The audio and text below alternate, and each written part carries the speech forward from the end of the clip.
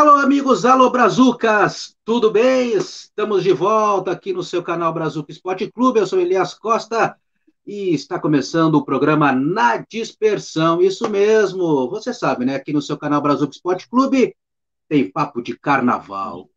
Papo de carnaval sempre com uma grande per personalidade carnavalesca do Brasil. E eu digo do Brasil porque falamos de Porto Alegre, Carnaval de Porto Alegre, falamos do Carnaval do Rio de Janeiro, Carnaval de Vitória no Espírito Santo, e agora vamos até Tucuruí, isso mesmo, Tucuruí, no Pará, para falar do Carnaval da cidade que aconteceu no mês de julho, isso mesmo, teve desfiles de escolas de samba em Tucuruí no mês de julho. Mas quem vai nos contar, irão nos contar essa história direitinho, falar um pouco deste carnaval no norte do país é o presidente Sidão e também o Wildes Machini, integrantes da escola Império Matinhense, campeã do carnaval da cidade de Tucuruí. Tudo bem, meus amigos? Muito obrigado por atender o canal Brazuca Esporte Clube no nosso programa Na Dispersão, que o papo aqui é de carnaval, para falar desse carnaval da cidade de Tucuruí e da campeã Império Matinhense. Primeiramente, parabéns pelo título. Muito obrigado, é uma satisfação estar no programa, é, de prestigiando e dando aquele apoio, falando da nossa cultura, do nosso município e da alegria que esse título trouxe para o nosso bairro, para a nossa comunidade e para toda a região aqui de Tucuruí. Boa noite, boa noite, Elias Costa, boa noite todo mundo que está assistindo, né, essa essa programação massa aí, que é na, na dispersão, onde nosso amigo Elias fala com as maiores personalidades do carnaval, também do futebol, e a gente está tendo o prazer de estar hoje aqui né, interagindo com você. Que maravilha, que maravilha receber os amigos. Explica um pouco para nós como é que como é que é o carnaval aí em Tucuruí. A, primeiro, a quantos quilômetros fica de Belém do Pará? Oh, é, Tucuruí fica em torno de 400 e alguma coisa de quilômetros aí, mais de 400 quilômetros, né? Dá em torno de 6, 7 horas de viagem de carro. Tem aviões já também, de pequeno porte, mas tem, já, tem, já temos já um aeroporto já iluminado para voo noturno e diurno. E a população é de pouco mais de 100 mil habitantes e que atende aqui a, a região, né, a região do sul sudeste do Pará. Temos aqui em Tucuri também a, uma das maiores usinas hidrelétricas do Brasil, fica aqui na nossa cidade também, tem um, um imenso lago. E a gente faz o carnaval, faz a parte da cultura aí para essa região, região sul e sudeste. Mas muita gente vem da capital também. Você falar que o carnaval de escola de samba de Tucuruí né, é o, melhor carnaval do interior do estado do Pará. Né? A cidade de Tucuruí, assim também, e outras cidades têm tradição do desfile de escola de samba, mas não com a mesma grandiosidade que o carnaval de Tucuruí acontece de escola de samba. Porém, ficamos aí alguns anos é, sem o carnaval, desde 2018 que não acontecia, né, e logo veio a pandemia também, e nesse ano de 2023, perdão, de 2022, é, aconteceu, né? Era para ter sido no mês de fevereiro, porém a, o novo normal ainda era dúvida, né? Não tinha a certeza se o Covid ainda ia assolar. E aí o prefeito resolveu colocar no mês é, atípico, no mês de julho, né? O, o carnaval das escolas de samba de Curuí. E quantas escolas tem em Tucuruí? Participam do carnaval? A gente tem cinco escolas de samba. São divididas em vários bairros, né, como se fosse na comunidade. Aí são cinco. Cinco escolas bem estruturadas, graças a Deus está trabalhando para alcançar um patamar bem elevado, assim, como se fosse de capital.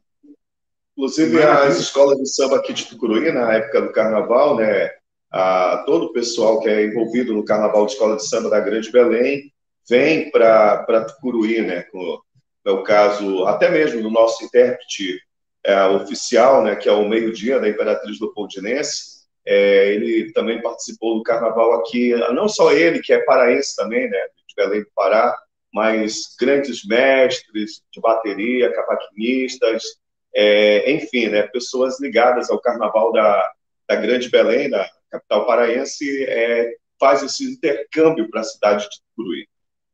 Que maravilha! E como é que foi esse retorno depois de quatro anos sem desfile? Ah, a galera toda empolgada, né? Principalmente nós que trabalhamos diretamente, né? A felicidade, arrepia o corpo, e negócio é, vai ter, não vai ter, começar a fazer os nossos eventos para poder arrecadar fundos, apesar da, da, prefeitura, o governo do estado, alguns políticos, algumas, alguns empresários nos ajudem, mas não dá, né? O recurso tem que ser adquirido com eventos, feijoadas, bingos, esse tipo de situação. A gente se empolga, né? Eu costumo dizer para o meu pessoal, não posso me empolgar muito não, que, que negócio desanda. Mas aí a gente se empolgou, graças a Deus, foi com o pé no chão e com certeza deu um título maravilhoso, muito lindo a nossa escola, bem mesmo, assim, uma coisa fora do normal, poucas vezes a gente saiu assim, e esse ano com certeza a gente trabalhou, toda a diretoria, todos os amigos do, do, do Império Matinense, nos ajudou. O bairro todo, a comunidade toda está de parabéns. É uma escola de samba, Elias, que tem uma comunidade muito presente, muito forte, né? É o bairro mais tradicional da cidade de Tucuruí, onde o embrião, onde todo tudo começou aqui na cidade de Tucuruí, né? Era uma vila de pescadores e, enfim, né? De lá expandiu e surgiu a cidade de Tucuruí. E essa mesma comunidade, é, ela é assim, uma comunidade muito presente na escola de samba, que vai para os ensaios, tem a tradição também da bateria da, da nossa escola de samba, que é a, a, a bateria denominada Fúria Verde, né, da, do Império Martinense, que são todos da comunidade. É a única escola de samba que não tem problema de trazer ritmistas é, da, da, Grande Belém, das escolas de samba lá de Belém, como é, é de costume aqui as escolas de samba de Tucuruí, né? Já a nossa não, a gente não tem esse problema, porque a gente, muito pelo contrário, a gente faz é é liberar a rapaziada para ir para outras escolas, né, para dar um apoio aí para as demais escolas. E assim, o que a gente já sentia nos ensaios da escola de samba, a multidão que sempre prestigiava, a gente já sabia que com certeza a nossa escola era a favorita, né, para o, o título. Que maravilha. Olha um pouco da escola que tem esse, esse calor, esse, esse apoio, esse abraço da comunidade. Como é que surgiu a escola e, e, outra, como é que surgiu essa paixão pela, da cidade pelo carnaval, pelos desfiles das escolas de samba? É, o, o, bairro, o bairro da Matinha, que fica o Império Matinense, é, ele é um bairro, como o Desmachine falou, é um bairro pioneiro, né? Um bairro pioneiro. Eu costumo dizer que é o bairro do samba e do amor. E a gente é apaixonado mesmo pelo bairro. Se for para brigar, a gente vai. Se for para reivindicar alguma coisa, a gente vai reivindicar, todo mundo junto, com aquele mesmo objetivo.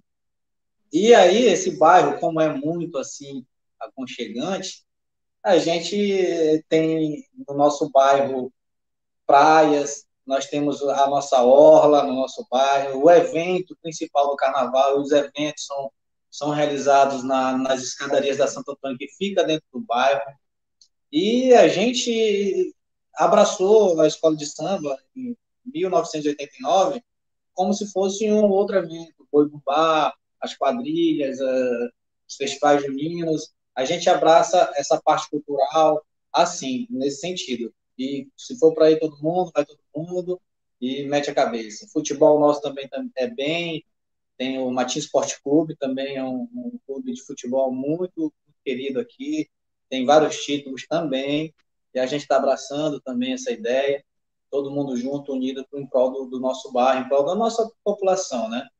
É a galera, a galera que é apaixonada mesmo por tudo que envolve a cultura. Ah, o tema também, né, o enredo, na verdade, que nós escolhemos esse ano para falar na, no Carnaval, ah, foi, é um tema também muito forte, né, que aconteceu aqui no Rio Tocantins, que é o rio que banha a cidade, vai até passando por várias cidades aqui, são muitas cidades, até Saguá ali na, na, na ilha, perdão, do Marajó, né, que banha, que fica ali também próximo da Grande Belém, e a, se baseou no, no século XVII, né, onde uma, uma escrava, é, uma ela foi, na verdade, capturada na festa da fartura lá em Angola e foi trazida aos sete anos de idade. Mas antes disso, na vila onde ela morava lá em, em Angola, ela teve uma, uma um, um, curandeiro da vila. Ele fez uma previsão que ela seria uma rainha, né? Mas como? Se ela não tinha sangue real, a família dela não era nobre, né? E ela não entendeu muito bem essa previsão do curandeiro da vila. E nessa festa da fartura lá que eles fazem lá em Angola até hoje, né, para comemorar, onde eles é, servem comidas, é, frutas, enfim, os capitães do Matos, né, na, na, verdade os portugueses, eles capturaram essa, essa menina e colocaram ela no navio negreiro e ela foi trazida para Belém do Pará, né? Belém do Grão-Pará. E aqui ela foi vendida para uma fazenda ah, no município de Cametá. E lá dessa fazenda, com a ajuda dos índios, ela fugiu. Ela conseguiu fugir, subiu o rio Tocantins, veio para essa região aqui do ah, onde nós estamos, né, de Tucuruí, aonde ela montou o quilombo do Mola. Então, foi um símbolo de resistência, da opressão. É, enfim, é um tema muito rico, tanto é que foi um livro que foi feito por um, um grande artista aqui da cidade de Curuí, um escritor, uh, professor Roosevelt Santos, que já foi premiado esse livro em São Paulo, e através da, desse livro dele, né, a gente, assim, pegou muito mais informações a respeito dessa história da negra Filipe Aranha, né, que foi aí realmente um grande símbolo de resistência e luta contra a opressão que montou o quilombo dela até hoje. Isso se passou ah, no século XVII. Na verdade, ela dominou aqui meados de 1775 até ah, por aí 1790, 800. Ela comandou aqui essa região aqui do, do quilombo, né, que ela montou aqui tem muitos quilombos que são vertentes desse quilombo que ela montou, né? Como é o caso do quilombo de Marizal, também da de Jutaí, Anilzinho, entre outros que existem aqui na nossa região. Que maravilha, isso valeu, valeu a conquista. Até eu acho, acredito que o troféu está aí atrás de, vo de vocês aí, né, Luiz? Exatamente, Luiz. O papel está aqui e, e assim, a, a, nesse tema, nesse enredo também, a gente falou da, da religião dela, né? A, pelos santos, que era Ogum e também Iemanjá. Isso ajudou também a, a nossa bateria a dar uma pitada né, de batida africana, também de, de candomblé, misturando. Ficou muito legal mesmo, tema muito rico. E você sabe, né? Tema africano é, é um, um, tema muito bom de ser explorado, né? De, contar, de falar toda a trajetória dela, desde quando ela foi capturada lá na África e veio para cá. Enfim, realmente foi um desfile muito bonito mesmo. As pessoas não tinham, assim, nenhuma dúvida que a escola seria campeã pelo enredo apresentado pelo desfile uh, que a escola fez na, na avenida. Né? Que maravilha. E é característica da escola apresentar esse tipo de enredo? É, a gente sempre procura, a, a, é, enfim, muitos enredos são, são feitos né, pelos carnavalescos, então Sim. a gente sempre escolhe o, o que a, a, diretoria achar melhor, né, que seja um tema que realmente possa fluir na avenida. Né? Então, normalmente, assim, temas regionais é que a gente costuma sempre apresentar, né, pela, pela característica da, da nossa região. Maravilha. Até escalem para nós aí os destaques, o Timaço que conquistou esse título, juntamente com vocês.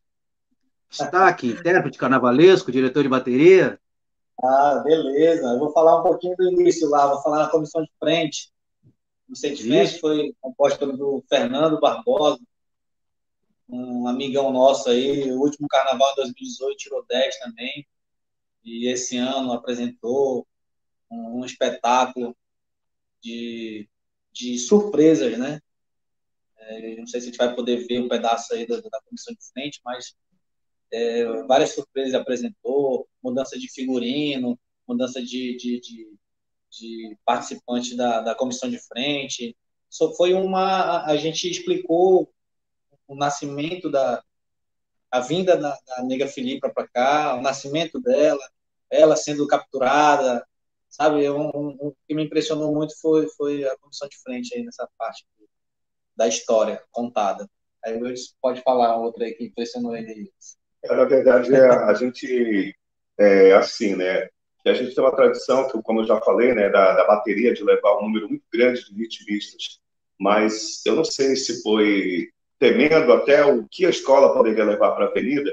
Então, as demais agremiações, as outras escolas, é, fizeram uma, uma votação para limitar o número de ritmistas na bateria, permitindo Sim. somente 80, né? porque eles estavam com esse tipo de problema. Então, com isso, limitando o número de ritmistas em 80 ritmistas, é, limitaram também, a escola ia, ia levar três alegorias mais uma, um tripé na comissão de frente, eles limitaram também, só poderia levar uma, é, um, uma alegoria. Ah, então, isso aí atrapalhou toda a planta baixa que, o, os carnavalescos tinham feito, né, que foi o Nivaldo Pantoja e o Júlio Cardoso também, um experiente carnavalesco da capital paraense. Então, o que, que eles fizeram? Resolveram é, juntar, né, acoplar duas grandes alegorias com tudo que eles iam levar em cada alegoria das três, né? Resolveram montar apenas em, em duas. E assim deu muito certo, porque ficou uma alegoria fantástica, uma alegoria realmente bem longa. Eu, eu creio que foi a maior, né, Sidão? De todos os tempos. A maior de todos os tempos que foi levada para a Avenida, porém ficou muito bem definido, né? A história é contada ah, desde quando ela foi capturada na festa da fartura a, a Filipe Aranha, né? É, passando pelo sofrimento, né? todo o martírio dela no navio negreiro, até a consagração dela no quilombo, né? O quilombo que a gente levou também para a avenida e deu muito certo. Então eu tinha assim a, a dúvida, poxa, será que vai ficar legal essas, é, é, essas três partes da história é, sendo contadas em uma só alegoria? Mas graças a Deus deu muito certo, ficou muito bonito. Isso mostra a criatividade dos, dos carnavalescos, né? Exatamente. Muito, muito, muito mesmo. Muito bom. As nossas baianas também arrebentaram, muito bonitas, roupas muito luxuosas. É, a parte da, das fantasias também, eles capricharam, com material de primeira. Lembrando que as costureiras são todas daqui da região. Fizemos um protótipo de cada fantasia, de cada ala, e passamos para as costureiras daqui da cidade mesmo, é, fomentando o, o, o poder de, de, de aquisição, de, de, geração de emprego. Tudo isso a gente frisou muito daqui. Trouxemos um carnavalesco de Belém, o outro é daqui do município também, e a gente prezou muito isso, graças a Deus, deu muito certo. E agora, Maravilha. Todo trabalho já para o Carnaval é, 2023, né? Inclusive já alguns enredos eles já estão preparando, inclusive antes mesmo da gente começar aqui a, a gravação do seu programa, a gente estava falando com ele aqui já é, exatamente o, os enredos que ele já tem para passar para a gente, para apresentar para a diretoria, né? Qual será escolhido aí, até porque está tá em cima, né? Carnaval está tá bem aí logo, né? Pois é, isso que eu até ia perguntar para vocês, os preparativos para o Carnaval do próximo ano e até se vai voltar a, a data normal, que é em fevereiro. É, a expectativa é essa, né? É, o prefeito, o diretor de cultura, o Márcio Guedes, Jean Guedes, o pessoal da cultura aqui do município, eles estão agendando esse calendário já e já deram já deram um, um, crédito que com certeza vai ser no período do carnaval e que os trabalhos eu tive esse mês de folga aqui eu falei vamos finalizar o mês de julho e agosto uma folguinha mas setembro começa tudo de novo. vamos arregaçar as mangas, já vamos fazer eventos em setembro e não pode parar o negócio, não. E a gente está nessa perspectiva que o carnaval volte ao calendário normal. Graças a Deus, fazer assim, já passamos por muitos desgostos, né, agora nessa época da pandemia, e queremos ver o povo sorrir de novo, novamente, com esse, com esse retorno do carnaval. Que maravilha. Estamos conversando com o presidente Sidão e também presidente da Império Matinhense, campeã do Carnaval de Tucuruí, lá no Pará. E também com Wildes Machini, que é assessor de comunicação da escola. eu, pouco que eu vi do, dos desfiles de Tucuruí, eu percebi que as arquibancadas lotadas. Explica para nós um é. pouco da estrutura da avenida, da pista aí, quanto, quantos, quantas pessoas, quantas mil pessoas cabem, como é que funciona? Que bancada aqui na, do, do, desfile, né? Normalmente, é, em grandes eventos, reúne cerca de, de 10, 15 mil pessoas. Agora, no, no período do carnaval, é que a avenida fica livre né, para a passagem das escolas de samba, das alegorias. Creio que umas 10 mil pessoas, né, presidente, é, assistem né, o, o, nosso carnaval aqui, mas é muita gente. Inclusive, ah, tem um, uma, um projeto né, de um sambódromo, com arquibancadas, com camarotes, com a, a, capacidade para 50 mil pessoas, que também uma boa parte já está pronta aqui na orla da cidade, né?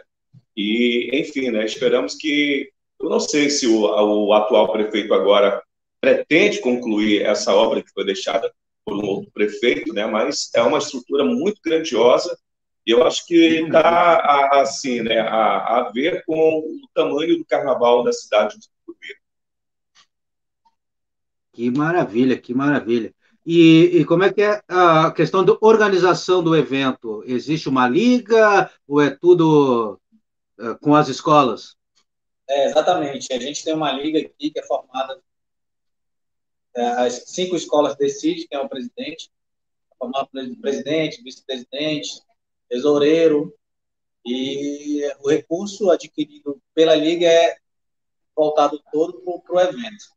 Aí a Liga patrocina é, som, iluminação, camarotes, esse tipo de situação a Liga faz o evento. E a gente, o, o desfile nosso aqui também é tudo 0800. Você não paga na arquibancada, você não, não paga a questão de, de para assistir o desfile, é, é, tudo de graça, né? É, é isso é, é, é, bem, bem legal, que atrai também todos os brincantes daqui da região. O Curuí, ele, ele é, a usina hidrelétrica, com a construção da usina, formou um lago que atende sete municípios na parte da, da montante, que é a parte de cima da usina. E Sim. a maioria desse pessoal desses municípios, tudo vem para Tucuruí. Muita gente de fora, vem para cá também. E Tucuruí fica pequeno, né? Os hotéis ficam todos lotados. A gente tem uma, uma rede de restaurantes também que atende muito bem é, os turistas. Temos praias, temos outros eventos, motocross, essas coisas assim. Tucuruí, nesse período, é muito bom por conta disso. Você tem o próprio Carnaval fora de época também, a Micareta, né, que é o Carnaré, que foi uma semana depois do desfile das escolas de samba também, dando seguimento aí à programação de verão, né, por parte da prefeitura. Não é realizado também pela prefeitura, né, assim como a Liga das Escolas de Samba, tem a Liga dos Blocos também. E teve várias atrações né, da Bahia, El Chan, Parangolé, animando aqui também, trio também de Salvador, e enfim, né, mas a, a, a maior patrocinadora, assim como das escolas de samba, né, que tem a Liga das Escolas de Samba, é a prefeitura e o Carnarec, realizado pela Liga dos Blocos, também a maior patrocinadora é a Prefeitura de Tucuré. A Prefeitura de Tucuré é uma prefeitura muito rica, né? É, se não me engano, ela é a quarta ou é a quinta é, mais rica do interior do, do, estado do Pará, na verdade, não, é, enfim, Sim. só do interior, né? Mas incluindo também a própria a Grande Belém, também é, a prefeitura é muito rica de Tucuré. Devido, né, à usina, né? E que bom que, que a prefeitura, o poder público, está, investe na cultura e principalmente no carnaval, né? Sim, sim, sim. A gente, a gente é muito grato por isso, de ter retornado também, agora em 2022, carnaval. E a gente veio insistindo desde o início do ano, né, que no Rio ia ser em, foi, ia, ia ser em fevereiro, né, cancelou, passou para abril. E a gente ficou na, não, vamos, prefeito, vamos fazer, tem que fazer. O povo está querendo, já estamos ensaiando, já estamos trabalhando na arrecadação de, de recursos, está faltando só o seu.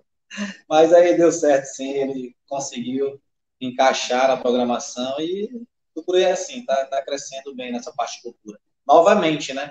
E Tucuri já foi um dos melhores carnaval de todo o interior do Pará e está retornando sim, com certeza vai, vai alcançar o patamar que, que já vinha é, feito um tempo atrás.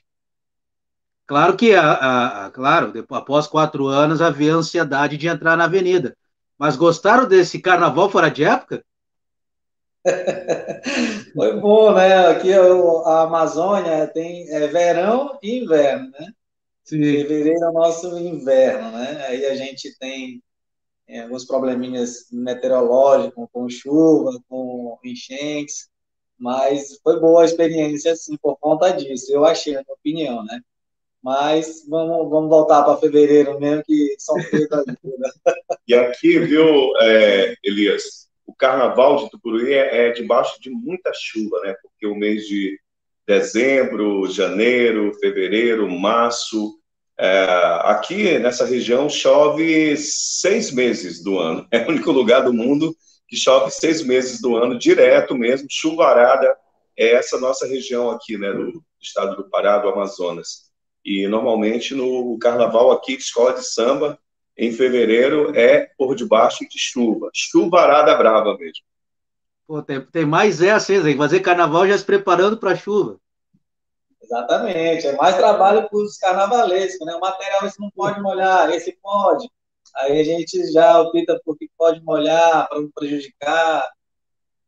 Mas foi um espetáculo. Tucuri também é maravilhoso, que tem todo e tudo isso que eu te falei, já praia, tudo. verão aqui é perfeito.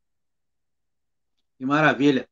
Amigos, já encaminhando a nossa conversa, estamos conversando com o presidente Sidão e também com o Wildes Machini, assessor de comunicação da Império Matinhense, campeão do Carnaval de Tucuruí, a verde, a verde branco, pelo que eu percebi na bandeira, no, no estandarte, na bandeira da escola.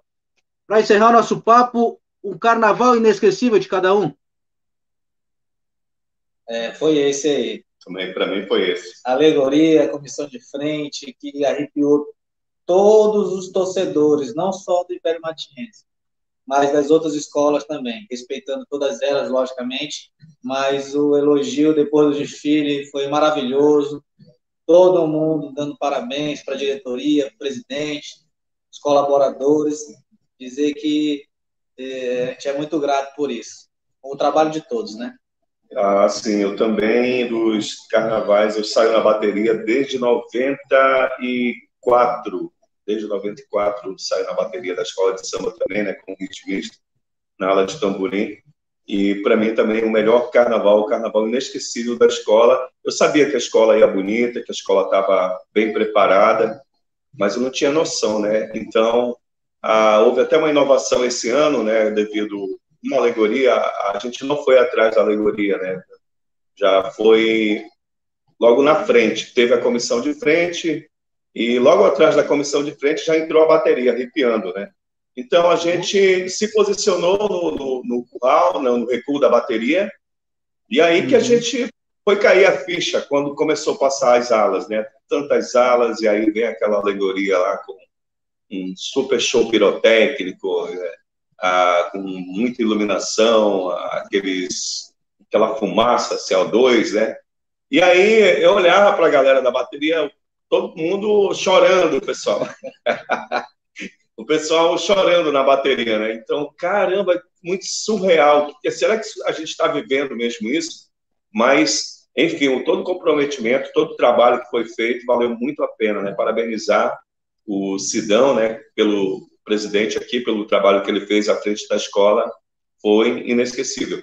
E as pessoas também que estavam nas arquibancadas, as pessoas dos camarotes, o pessoal que estava na transmissão também, ninguém tinha dúvida.